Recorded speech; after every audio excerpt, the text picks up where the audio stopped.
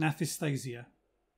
The day following our arrival in Calnogor, His Majesty the King had projected for us a journey to the Palace of Art at Naphthasia, which stood on the slope of a mountain in a rich valley lying 100 miles southwest of Calnogor.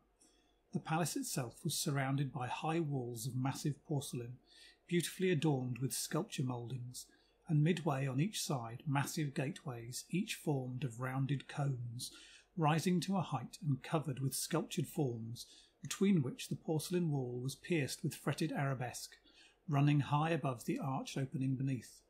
Once within the gorgeous gateway, the porcelain walls of Naphthasia stood before the enraptured eyes, more than a mile in length and half a mile in depth, a many coloured dream of imposing magnificence, covered with the work of sculptors.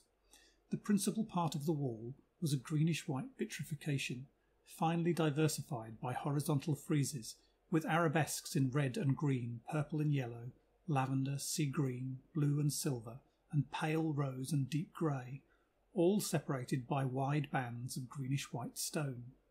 In the centre of the building stood a semicircle of massive conical towers, gleaming like enormous jewels and connected by sculptured walls. The four corners of the palace were also groups of towers, all the various groups being connected with the rectangular walls that were decorated with arcades and balconies. Here in this splendid abode were poets and painters, musicians, sculptors and architects, dancers, weavers of fabrics, ceramicists, jewellers, engravers, enamellers, artists in lacquer, carvers, designers, and workers in glass and metal, pearl and ivory, and the precious stones. In an immense chamber of the palace, a fete was being held. On either side, a double range of massive porcelain pillars supported the roof, which covered this grand sanctuary of art like an immense vitrified jewel. The floor of the court was formed of polished wood of a deep rose colour that emitted a heavy perfume. Wood of a brilliant green, with interlacing arabesques of red, formed the border of the floor. At the further end of the court stood three thrones, being composed respectively of terrellium, aquilium, and plutelium, the three most precious metals. On the threefold throne sat Yermul, Lord of Art, His Majesty the King, and myself. In ample recesses amid the pillars stood the devotees of art, while the centre of the court was filled with musicians.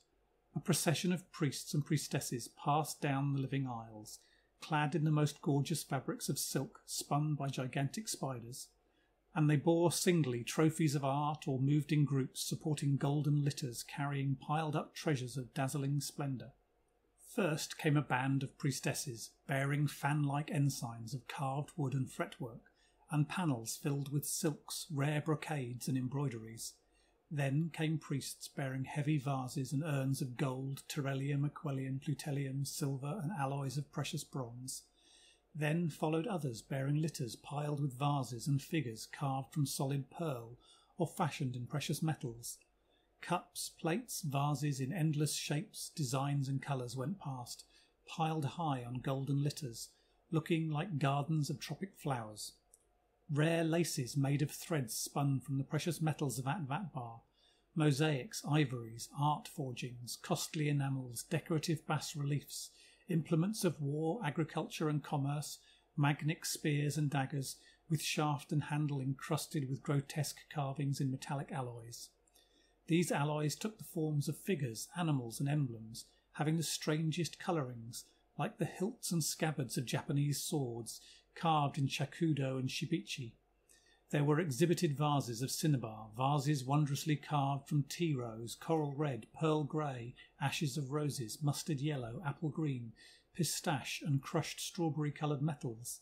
There were also splendid crowns, flowers, animals, birds, and fishes, carved from precious cragon, an imperial stone harder than the diamond, and of a pale rose pink colour. Every object was as perfect as though modelled in wax. Through all of this decorative movement, there was something more than decoration understood as mere ornamentation. There was the keenest evidence of soul movement on the part of the artist.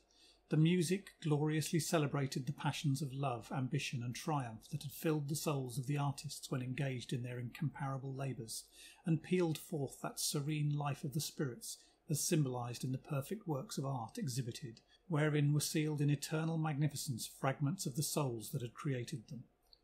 Between the pauses of the music, an organ megaphone shouted forth in musically stentorian tones the words that had been impressed on its cylinders in praise of art. The 5,000 priests and priestesses of art had simultaneously shouted their art ritual down 5,000 tubes, which were all focused into a single tube of large calibre. The multitudinous sound of their voices had been indelibly impressed on this phonograph megaphone that now yielded up the sentiments impressed upon it its tones being that of a vast multitude, reinforced by the vibrating music of an organ, which was part of the megaphone. These were the passages repeated by the instrument with a startling splendour of sound. The messages of the megaphone 1. To define art is to define life. 2. Art is a language that describes the souls of things. 3. Art in nature is the expression of life. In art is life itself. 4. Art is too subtle a quality to be defined by the formula of the critic. It is greater than all of the definitions that have tried to grasp it. 5. Art is the glowing focus from which radiate thought, imagine, and feeling, gifted with the power of utterance. 6. True art is generous, passionate, earnest, vivid, enthusiastic. So also is the true artist. 7. To satisfy the far reaching longing of the spirit, art makes things more glorious than they are. It is the perfect expression of a perfect environment. 8. To mould his symbols with the same life that fills his conception of the idea is the supreme effort of the artist. 9. As nature from the coarse soil produces flowers, so also the artist from everyday life produces the subtle sweets of art. 10. Art that is simply utility is not sufficiently decorative to delight every nerve of feeling in the soul. To feed these, many flavours of form and colour are necessary, and hence the necessity of art. 11. Where do emotion and imagination begin in art? Where do spirit and flesh unite in creating a living creature? 12. The artist is a creator. He breathes into dull matter the breath of art, and it thenceforth contains a living soul. 13. Poetry and art make life splendid without science, which is the cold investigation of that which was once thrilled with the passion of life. Invention makes life splendid without poetry and art. By whom will the glorious union of art and science be consummated? 14. What is the world we live in? It is for the most part a collection of souls hidebound with treachery and selfishness, of souls covered with a slag from which we have departed the fires of love and passion and delight, such incinerated aliases of their former selves are your judges, O artists. 15. Art is a green oasis in an arid and mechanical civilization. It creates an earthly home for the soul, for those wounded by the riot of trade, the weariness of labour, the fierce struggle for gold, and the deadly environment of rushing travel, blasted pavements, and the withering disappointments of life. 16. Where is that artist that can sway imagination, create emotion, lift the banner of a high ideal, give the soul a keener appreciation of beauty, add to the mind strength and grace, cause the brain to develop new nerves of feeling and newer cells of thought, that we may salute him as a genius? 17. Art is the emotion within, made splendid by imagination that clothes everything with perfection. Like colour, it dwells only in the soul, but the cause of the sensation is without. In all art, the artist seeks to reproduce the cause of his ecstasy, that he may communicate to others a similar delight. He is like a god, he always gives but never receives. For fame, not money, is his recompense. 18.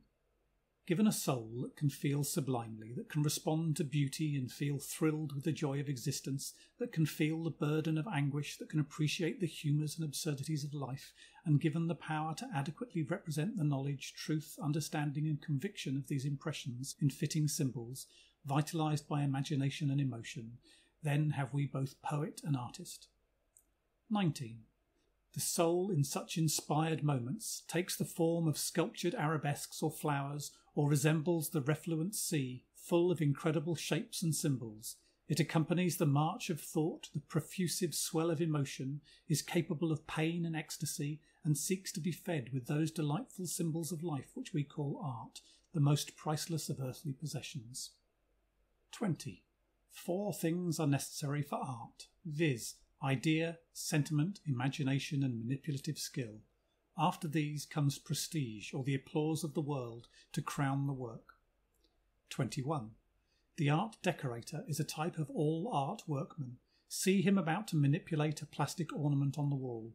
The plaster resembles his idea, its plastic qualities his sentiment or emotion. The style of ornament into which it is to be moulded resembles his imagination, and the power of the artist to successfully and triumphantly embody in the finished ornament the living, breathing idea that fills him is his manipulative skill. Any work of art, if perfect in itself, still remains unfinished until the world comes along and applauds. 22. The age wants the artist. It wants imagination, originality, inspiration, ideality. It requires fertile, dreaming souls to create ideal breadth. It requires an earthly nirvana wherein one may escape a selfish, barbarous, pitiless world. There is a great dearth of the coinage of the soul. We want artists to explain the souls of things, not their mechanical construction, but the unseen secret of their purposes, their unspeakable existence. We want heart expanding triumphs to counteract the withering influences of life. If a soul is entranced with man or nature, we also want to feel his fascination, to be penetrated with his rapture. The megaphone ceased its musical vociferation, which formed a spiritual exercise for the souls assembled before us. I felt entranced and lifted up to a plane of splendid life hitherto unknown in my experience. I began to understand that art, after all, is the one thing in our terrestrial life worth striving for, in fact, our only possession. For is it not the transmission of the soul to outer matter, whose savagery may thus be charmed and subdued to become a satisfactory spiritual environment? Following the procession of artists came beautiful, wondrously arrayed dancers, whose evolutions made the brain dizzy with delight. Fair priests and priestesses of art formed upon the floor of the palace decorative arabesques of scrolls and interlacements of living bodies, the colour of their garments mingling in perfectly harmonious hues, beautiful beyond comparison. Their ceaseless evolutions were made to the measure of perfect music. Panels and bands of living decorations were framed and transformed like the magical changes of the kaleidoscope. At last Yermul, the Lord of Art, waved his wand, and the dancers stood transfixed, a garden of ecstatic colour like a Persian carpet, wonderfully designed and vividly emblazoned. It was a scene of royal magnificence. These priests and priestesses were the art workers of Naphthasia, who had so finely exhibited their treasures. Following the rhythmic movements of the art workers came poets, painters, sculptors, whose works lifted the soul to higher planes of being. These, in their trophies of art, recited or exhibited, gave the soul imagination and sentiment, lifting it almost to the enraptured height of worship, adoration, and love. At the close of the ceremonies, we were entertained by Yermul, Lord of Art, at a banquet, at which music and song and the dancing of voluptuous priestesses made hearts thrill with delight. Bidding farewell at last to the Lord of Art and his priests and priestesses, His Majesty, myself, and our company returned to the sacred locomotive of Calnogor. End of chapter 17.